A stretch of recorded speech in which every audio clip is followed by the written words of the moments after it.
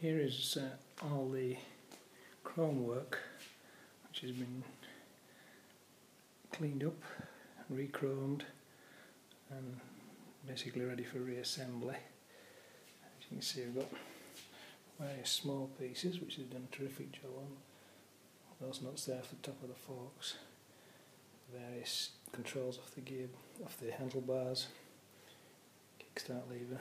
I need to do something about that brake lever, which is not quite done right. Um, very pleased with mudguards, headlamp cover, chain cover, handlebars, all looking the business. The wheels, probably the most difficult part.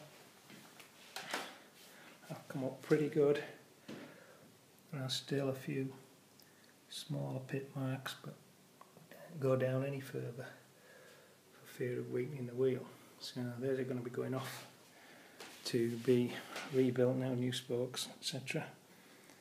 Um, hopefully by the time you see on the in the mirror there, um, I'm a bit incapacitated at the moment, so I can't get on with the um, renovation due to an operation on my arm, but five or six weeks should be back in action.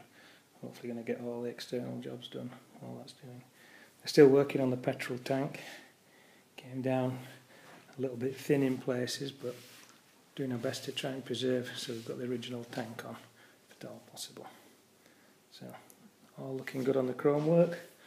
Can't wait to see that actually on the bike.